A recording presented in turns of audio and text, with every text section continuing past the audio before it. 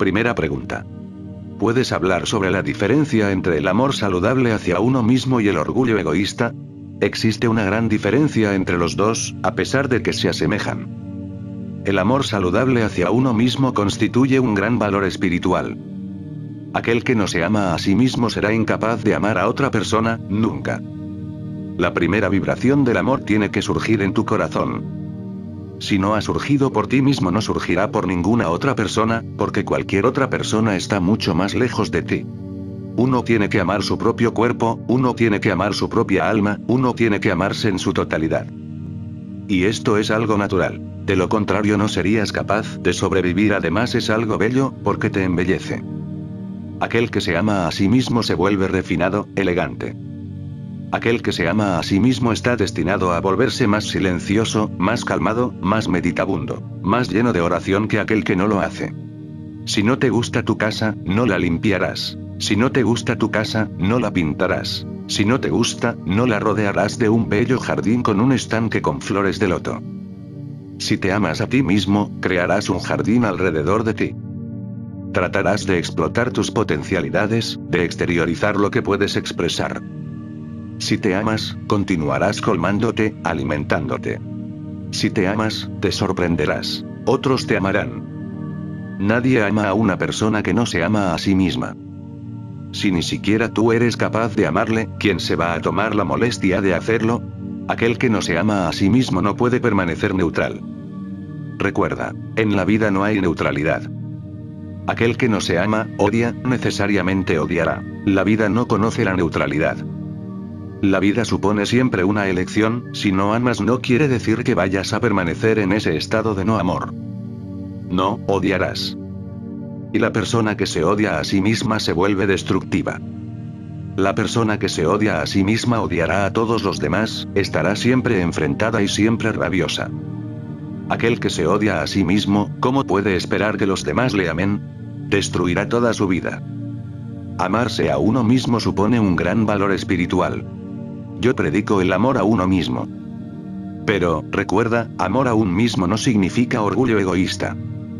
En realidad, significa lo contrario. Aquel que se ama a sí mismo descubre que no tiene ego. El amor diluye siempre el ego. Es uno de los secretos alquímicos que hay que aprender, entender, experimentar. El amor diluye siempre el ego. Siempre que amas el ego desaparece. Amas a una persona y, al menos, durante los breves momentos que dura el verdadero amor por ella, no hay ego en ti, no hay un yo. El ego y el amor no pueden coexistir. Son como la luz y la oscuridad. Cuando llega a la luz, desaparece la oscuridad. Si te amas a ti mismo, te sorprenderás. El amor a un mismo implica la desaparición del ego. En el amor a uno mismo no hay ningún atisbo de ego. He aquí la paradoja. El amor a uno mismo carece totalmente de ego. No es egoísta, ya que siempre que hay luz desaparece la oscuridad, y siempre que hay amor no hay ego. El amor derrite el ego congelado.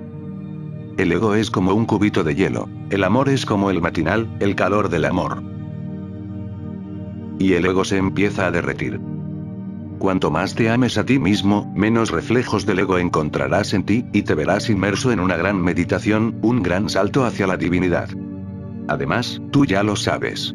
Puede que no lo sepas en lo que respecta el amor a uno mismo, dado que no te has amado a ti mismo, pero has amado a otras personas. Debes haber tenido atisbos de esto. Debes haber tenido algunos escasos momentos en que, por un instante, de repente, tú no estabas allí y solo estaba el amor. Únicamente fluía la energía del amor, desde ningún centro, de ninguna parte a ninguna parte.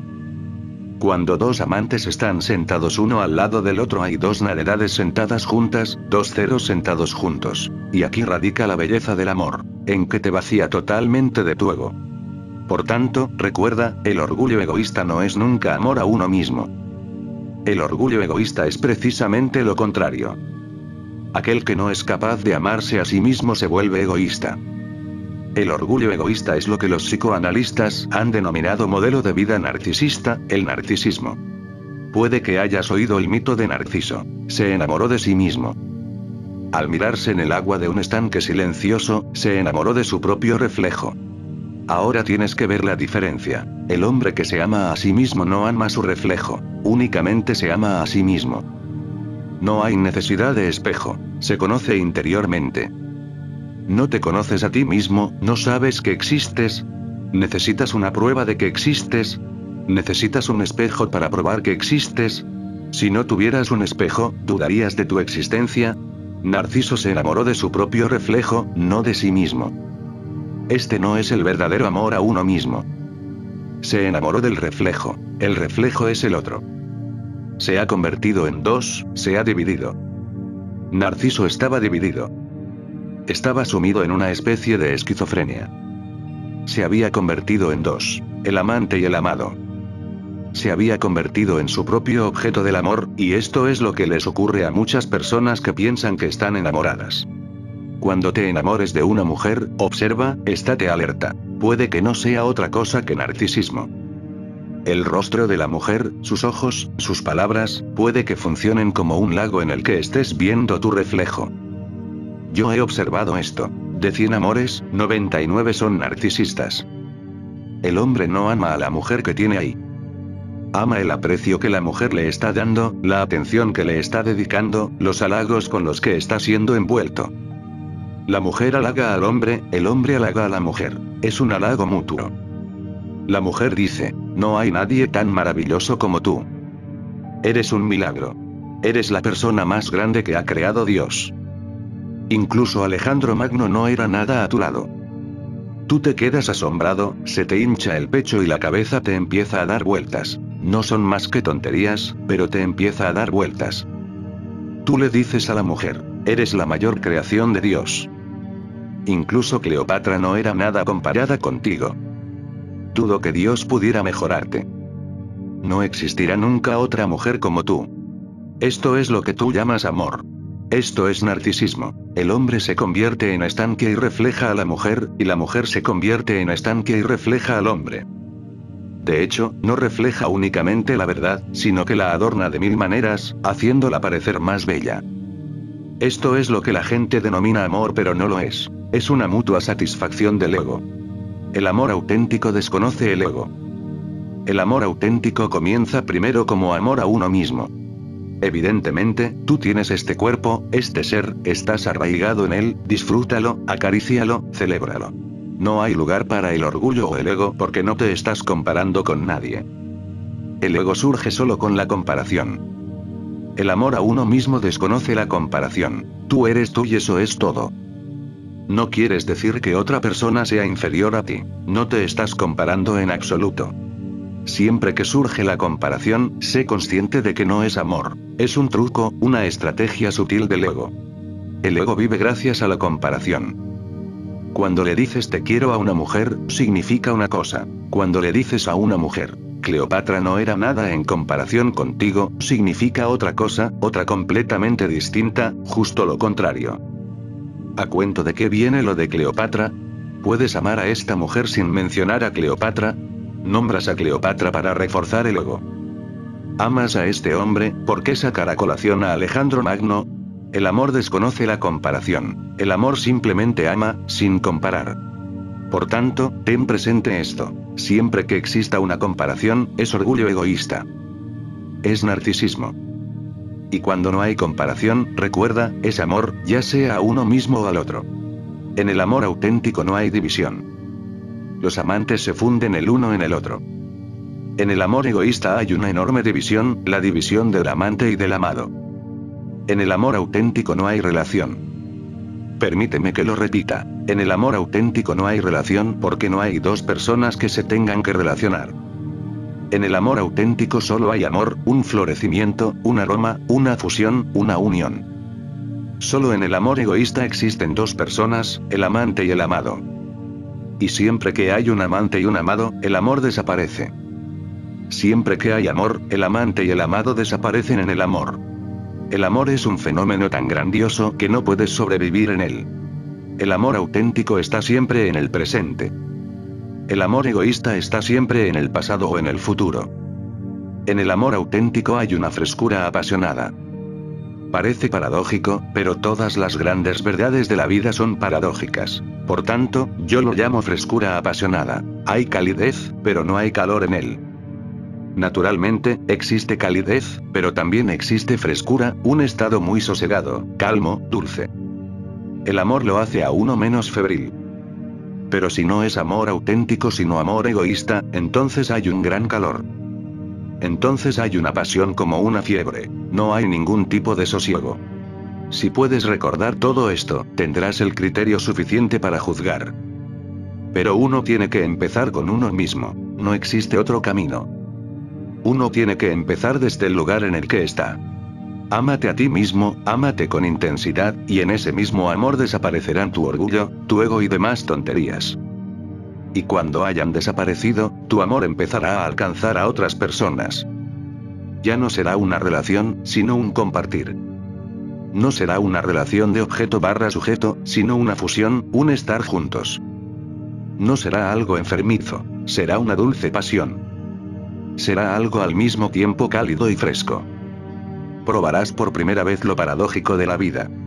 Segunda pregunta. ¿Por qué el amor es tan doloroso? El amor es doloroso porque conduce a la dicha. El amor es doloroso porque transforma. El amor es mutación. Cada transformación va a ser dolorosa porque lo viejo va a ser sustituido por lo nuevo. Lo viejo es familiar, seguro, indudable. Lo nuevo es algo completamente desconocido. Estarás navegando en un océano que no existe en los mapas. Con lo nuevo no puedes usar tu mente. Con lo viejo la mente es habilidosa. La mente funciona con lo viejo. Con lo nuevo, la mente es completamente inútil. Por tanto, surge el miedo y, al abandonar el mundo viejo, seguro y confortable, el mundo de la comodidad, surge el dolor. Es el mismo dolor que siente el niño cuando sale del vientre de su madre. Es el mismo dolor que siente el polluelo cuando sale de nuevo. Es el mismo dolor que siente el pájaro cuando intenta volar por primera vez. El miedo a lo desconocido y la seguridad de lo conocido, la inseguridad de lo desconocido, lo impredecible de lo desconocido le hace a uno tener mucho más miedo. Dado que la transformación se va a producir desde el ego hasta un estado de no ego, la agonía es realmente intensa. Sin embargo, no puedes experimentar el éxtasis si no has experimentado la agonía. Para purificar el oro hay que quemarlo. El amor es fuego. Millones de personas viven una vida sin amor porque el amor es doloroso. Ellos también sufren, pero su sufrimiento es vano. Sufrir en el amor no significa sufrir en vano. Sufrir en el amor es algo creativo, te transporta a niveles más altos de conciencia. Sufrir sin amor supone un completo derroche. No te lleva a ninguna parte, te mantiene dando vueltas en el mismo círculo vicioso. El hombre que no tiene amor es narcisista, está cerrado. Solo se conoce a sí mismo. Pero ¿cómo va a conocerse si no ha conocido al otro? Porque solo el otro puede actuar como espejo. Si no conoces al otro, nunca te conocerás a ti mismo. El amor es también fundamental para el autoconocimiento. La persona que no ha conocido al otro con profundo amor, con intensa pasión, con extremo éxtasis será incapaz de conocer quién es, porque no tendrá el espejo para ver su propio reflejo. La relación es como un espejo. Cuanto más puro es el amor, más elevado es este amor. Cuanto mejor es el espejo, más limpio está el espejo. Pero el amor más sublime necesita que estés abierto. El amor más sublime necesita que seas vulnerable. Tienes que despojarte de tu armadura. Eso es algo doloroso. No tienes que estar constantemente a la defensiva. Tienes que despojarte de tu mente calculadora. Tienes que arriesgar. Tienes que vivir peligrosamente. El otro te puede herir. Ese es el miedo a ser vulnerable. El otro te puede rechazar. Ese es el miedo a estar enamorado. Puede que el reflejo que encuentres en el espejo del otro sea horrible, aquí está la ansiedad. Evita el espejo. Sin embargo, evitando el espejo no te convertirás en alguien bello. Evitando esta situación tampoco crecerás. Tienes que aceptar el reto. Uno tiene que sumergirse en el amor. Ese es el primer paso hacia Dios y no lo puedes evitar. Aquellos que intentan evitar este paso del amor nunca alcanzarán a Dios es absolutamente necesario, ya que únicamente eres consciente de tu totalidad cuando eres provocado por la presencia del otro, cuando tu presencia es realzada por la presencia del otro, cuando eres rescatado de tu narcisismo, un mundo cerrado bajo el cielo abierto. El amor es un cielo abierto. Estar enamorado significa tener alas. Sin embargo, el cielo sin límites produce miedo. Y es muy doloroso despojarnos del ego, porque nos han enseñado a cultivar el ego. Pensamos que el ego es nuestro único tesoro. Lo hemos estado protegiendo, lo hemos estado adornando, lo hemos estado abrillantando continuamente. Y cuando el amor llama a nuestra puerta, todo lo que se necesita para enamorarse es dejar a un lado el ego. Naturalmente, esto es algo doloroso. Es el trabajo de toda tu vida, es todo lo que tú has creado, este horrible ego, esta idea de que yo soy algo separado de la existencia. Esta idea es horrible porque es falsa. Es una falacia. Sin embargo, nuestra sociedad existe gracias a ella, está basada en la idea de que cada persona es una persona, no una presencia. La realidad es que no hay ninguna persona en la Tierra, solo hay presencias. Tú no existes, no existes como ego, separado de la existencia. Tú eres una parte del todo. El todo te penetra, el todo respira en ti, palpita en ti, el todo es tu vida. El amor te ofrece la primera experiencia de estar en sintonía con algo que no es tu ego. El amor te da la primera lección de que puedes armonizar con alguien que no ha formado nunca parte de tu ego. Si puedes estar en armonía con una mujer, si puedes estar en armonía con un amigo, con un hombre, si puedes estar en armonía con tu hijo o con tu madre, ¿por qué no vas a poder estar en armonía con todos los seres humanos? Además, si el hecho de estar en armonía con una sola persona te proporciona semejante alegría, ¿qué ocurriría si estuvieras en armonía con todos los seres humanos? Y si puedes estar en armonía con todos los seres humanos, ¿por qué no vas a poder estar en armonía con animales, pájaros y árboles? Así que un paso te lleva al siguiente. El amor es una escalera. Empieza en una persona, termina en la totalidad. El amor es el principio. Dios es el final. Temer al amor, temer las crecientes penas del amor, supone quedarse encerrado en una oscura celda. El hombre moderno vive en una oscura celda. Es narcisista. El narcisismo es la mayor obsesión del hombre moderno. Hay problemas que no tienen ningún sentido. Hay problemas que son creativos porque te conducen a una conciencia superior. Hay problemas que no te llevan a ninguna parte, simplemente te mantienen atado, simplemente te mantienen en tu habitual embrollo. El amor crea problemas. Puedes evitar esos problemas evitando el amor. Sin embargo, son problemas esenciales. Hay que afrontarlos, hay que plantarles cara. Hay que vivirlos, atravesarlos y superarlos. Y el único modo de superarlos es atravesarlos. El amor es la única cosa que merece la pena. Todo lo demás es secundario. Aquello que ayuda al amor es bueno. El amor es el fin, todo lo demás es un medio. Así que, a pesar del sufrimiento, sumérgete en el amor. Si no te sumerges en el amor, como ha decidido mucha gente, entonces estás apegado a ti mismo. Entonces tu vida no es una peregrinación, entonces tu vida no es un río que fluye hacia el océano. Tu vida es una charca estancada, sucia, y dentro de poco no habrá nada más que porquería y barro. Para mantenerse limpio, uno tiene que seguir fluyendo. El río se mantiene limpio porque continúa fluyendo. El flujo es el proceso de permanecer siempre virgen. Un amante permanece virgen. Todos los amantes son vírgenes. Las personas que no aman no pueden permanecer vírgenes. Se aletargan, se estancan. Empiezan a oler mal tarde o temprano, normalmente, más temprano que tarde, porque no tienen ningún lugar a donde ir. Su vida está muerta. Aquí es donde el hombre moderno se encuentra a sí mismo, y de ello se derivan todo tipo de neurosis, todo tipo de locuras las enfermedades psicológicas han tomado proporciones epidémicas. Ya no es solo cuestión de unos cuantos individuos que tienen alguna enfermedad psicológica. La realidad es que la Tierra en su totalidad se ha convertido en un manicomio. Toda la humanidad padece una especie de neurosis, y esa neurosis es el resultado de tu estancamiento narcisista. Cada uno vive apegado a su propia ilusión de tener un ego separado. Entonces la gente se vuelve loca. Esta locura no tiene sentido, es improductiva, no es creativa. O la gente empieza a suicidarse. Todos esos suicidios son también improductivos, no son creativos. Puede que no te suicides envenenándote o saltando desde un acantilado o pegándote un tiro, pero puedes suicidarte de forma muy lenta, y esto es lo que suele ocurrir. Hay poca gente que se suicide de repente. La mayoría se decanta por un suicidio lento. Gradualmente, paulatinamente, se van muriendo. Pero la tendencia al suicidio se ha vuelto casi universal. Eso no es modo de vivir. La razón, la razón fundamental, es que hemos olvidado el lenguaje del amor. Ya no somos lo suficientemente valientes como para emprender esa aventura llamada amor. De ahí que la gente esté interesada en el sexo porque el sexo no es arriesgado. Es algo momentáneo en lo que no te involucras.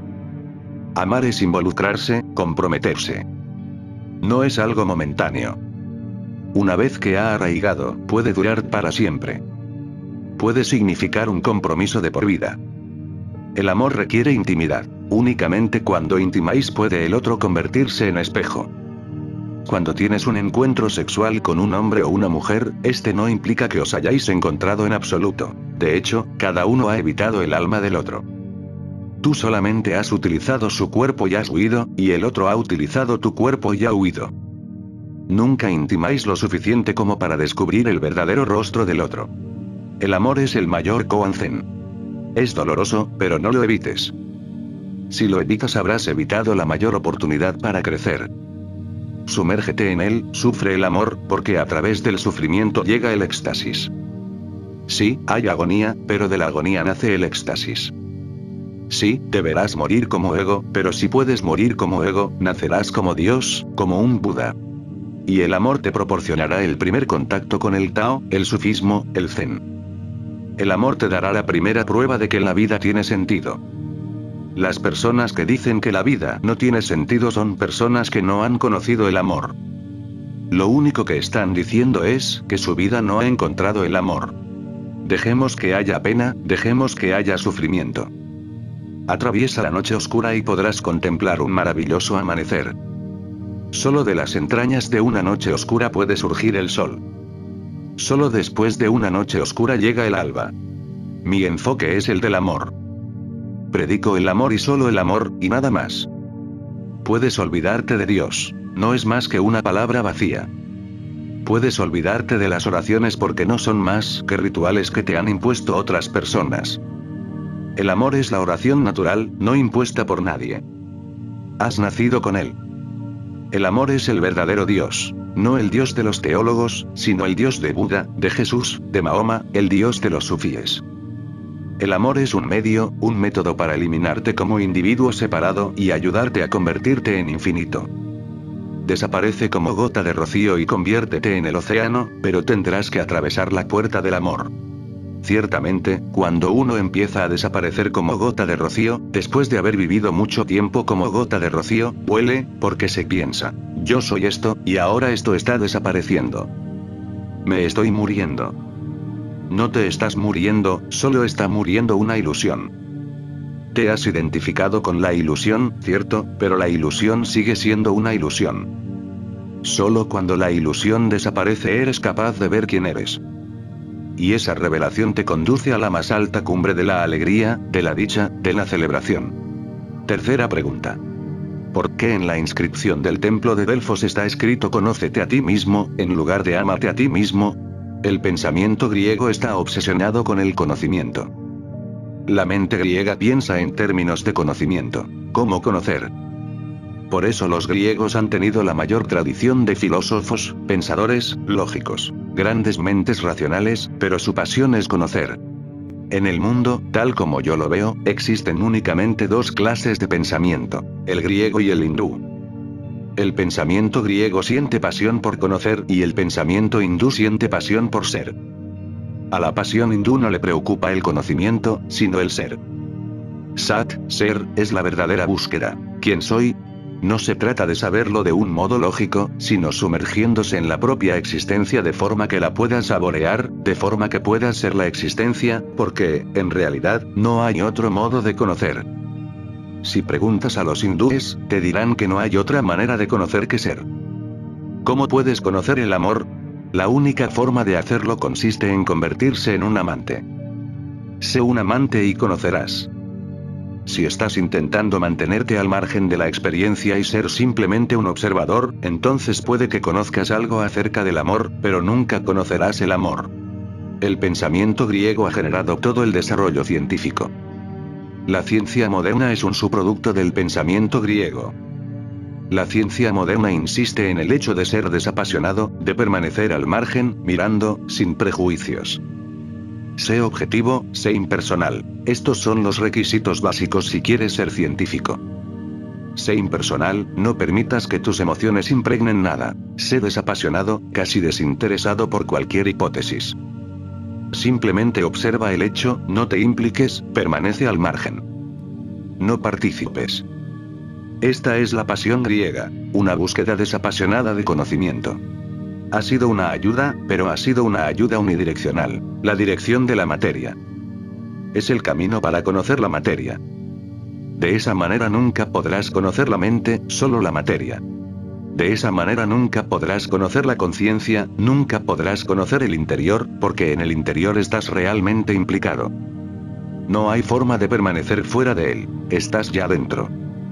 El interior eres tú, ¿cómo vas a salirte de él? Puedo observar desapasionadamente una piedra, una roca, un río, porque estoy separado.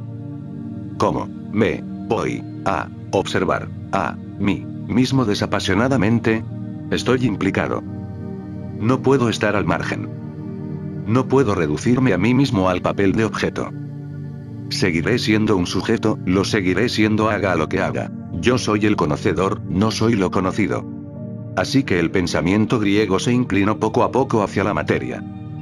El motor, la inscripción en el templo de Delfos, conócete a ti mismo, se convirtió en la raíz de todo el conocimiento científico. Pero, poco a poco, la idea del conocimiento desapasionado condujo a la mente occidental fuera de su propio ser. El pensamiento hindú, el otro tipo de pensamiento en el mundo, tiene otra dirección. Se dirige hacia el ser. En los Upanishads, el gran maestro Udaya dice a su hijo y discípulo Eswetketu, aquello eres tú, Taduamas y Eswetketu. Aquello eres tú, no hay distinción entre aquello y tú. Aquello es tu realidad, tú quiere decir la realidad, no hay ninguna diferencia. No hay posibilidad de conocerlo como conoces una roca. No hay posibilidad de conocerlo como conoces otras cosas. Solo puedes serlo. En el templo de Delfos, evidentemente, estaba escrito, conócete a ti mismo. Es una expresión del pensamiento griego. Como el templo está en Grecia, la inscripción es griega. Si el templo hubiera estado en India, entonces la inscripción habría sido sé tú mismo, porque aquello eres tú. El pensamiento hindú se acercó cada vez más al propio ser de uno, por eso se convirtió en un pensamiento no científico. Se convirtió en religioso, pero no científico. Se volvió introvertido, pero entonces perdió todos lazos con el mundo exterior. El pensamiento hindú se enriqueció mucho interiormente, sin embargo, el exterior se empobreció. Hace falta una gran síntesis, una gran síntesis entre la mente hindú y la griega. Esta puede ser la mayor bendición para la Tierra. Hasta ahora no ha sido posible, pero ya se han cumplido los requisitos básicos y es posible la síntesis. Oriente y Occidente se están encontrando de forma muy sutil. Los orientales van a Occidente para estudiar ciencia, para convertirse en científicos, y los buscadores occidentales se dirigen a Oriente para aprender lo que es la religión. Se está produciendo una gran mezcla y una gran fusión. En el futuro, Oriente ya no será Oriente, ni Occidente será Occidente. La Tierra se convertirá en una aldea global, un pequeño espacio donde desaparecerán todas las diferencias. Entonces, por primera vez, tendrá lugar una gran síntesis, la mayor que haya habido nunca, que ya no pensará de forma extremista, que ya no pensará que si te diriges hacia el exterior, si vas buscando conocimiento, estás perdiendo tus raíces espirituales o que si estás realizando una búsqueda espiritual, estás perdiendo tus raíces en el mundo, en el reino científico. Ambas cosas pueden coexistir, y, siempre que esto ocurre, el hombre tiene ambas alas y puede volar lo más alto posible. De lo contrario solo tienes un ala. A mi parecer, el pensamiento hindú cojea tanto como el pensamiento griego. Cada uno de ellos es la mitad de la realidad. Una mitad es la religión, la otra mitad es la ciencia. Tiene que ocurrir algo que aúne ciencia y religión en un gran todo en el que la ciencia no niegue la religión y la religión no condene la ciencia. ¿Por qué en la inscripción del templo griego de Delfos está escrito conócete a ti mismo en lugar de ámate a ti mismo? Ámate a ti mismo solo es posible si te conviertes en ti mismo, si eres tú mismo. De lo contrario, no es posible. De lo contrario, la única posibilidad consiste en seguir intentando descubrir quién eres y eso también hacerlo desde fuera. Observando desde fuera quién eres y eso también hacerlo de forma objetiva, no de forma intuitiva. El pensamiento griego desarrolló una gran capacidad lógica. Aristóteles se convirtió en el padre de toda la lógica y de toda la filosofía. El pensamiento oriental parece irracional, lo es. La simple insistencia en la meditación es irracional, porque la meditación dice que solamente puedes conocer cuando abandonas la mente, cuando abandonas el pensamiento y te fusionas de tal manera con tu ser que no hay siquiera un pensamiento para distraerte. Solo entonces puedes conocer. Sin embargo, el pensamiento griego dice que puedes conocer únicamente cuando el pensamiento es claro, lógico, racional, sistemático. El pensamiento hindú dice, cuando el pensamiento desaparece por completo, solo entonces hay posibilidad de conocimiento. Son completamente distintos, se mueven en direcciones completamente opuestas. Pero hay una posibilidad de sintetizar ambos. Una persona puede utilizar su mente cuando trabaja en algo material, ahí la razón constituye una gran herramienta. Sin embargo, la misma persona puede dejar de lado la mente cuando se dirige hacia su lugar de meditación y se encamina a la no mente. Porque la mente no eres tú, es simplemente un instrumento como mi mano, como mis piernas. Si quiero andar, usaré las piernas. Si no quiero andar, no usaré las piernas. De la misma manera puedes usar tu mente de forma lógica si estás tratando de saber algo sobre lo material. Es absolutamente correcto, es adecuado. En cambio, cuando te muevas hacia el interior, déjala a un lado. Ahí no te hacen falta las piernas. No te hace falta el pensamiento. Entonces lo que necesitas es un profundo y silencioso estado de no pensamiento. Y estas dos cosas le pueden ocurrir a una misma persona. Cuando digo esto, lo digo desde mi propia experiencia. Yo he estado practicando ambas cosas. Cuando es necesario, puedo ser tan racional como los griegos. Cuando no es necesario, puedo ser tan absurdo, tan irracional como cualquier hindú. Así que, cuando hablo de esto, sé bien de qué estoy hablando. No es una hipótesis. Lo he experimentado de esa manera. Se puede utilizar la mente y se puede dejar de lado. Es una herramienta, una maravillosa herramienta. No hay por qué obsesionarse con ella. No hay por qué tener fijación, obstinarse con ella. De esa manera se convierte en una enfermedad. Imagínate por un momento a un hombre que se quiere sentar, pero que no puede, porque dice, tengo piernas, ¿cómo voy a sentarme? O imagínate a un hombre que quiere estar tranquilo y en silencio y no puede hacerlo porque piensa, tengo mente. Es lo mismo. Uno debería adquirir la capacidad de dejar a un lado y apagar un elemento tan próximo como la mente. Esto es algo que se puede hacer, que se ha hecho, pero no se ha hecho a gran escala. Sin embargo, se hará cada vez más. Es lo que estoy tratando de hacer aquí con vosotros. Os hablo, trato los problemas con vosotros. Todo esto es racional, eso es utilizar la mente.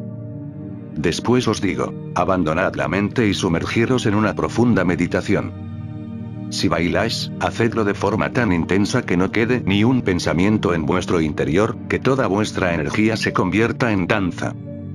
O cuando cantéis, entonces únicamente cantad. O cuando os sentéis, entonces únicamente estad, sentados. Permaneced en Zazen, no hagáis nada más. No permitáis que ningún pensamiento os distraiga. Simplemente estad tranquilos, absolutamente tranquilos. Estas son cosas contradictorias. Cada mañana meditáis y venís a escucharme. Cada mañana me escucháis y después vais a meditar. Esto es algo contradictorio. Si yo fuese únicamente griego, os hablaría, establecería una comunicación racional con vosotros, pero no os diría que meditarais. Es una estupidez. Si fuera únicamente hindú, no tendría necesidad de hablaros. Os podría decir, id a meditar, porque, ¿qué necesidad hay de hablar? Uno tiene que volverse silencioso. Yo soy ambas cosas. Y eso es lo que espero que vosotros también os convirtáis en ambas cosas, porque de esta manera la vida se enriquece, se enriquece muchísimo. De esta manera no os perdéis nada.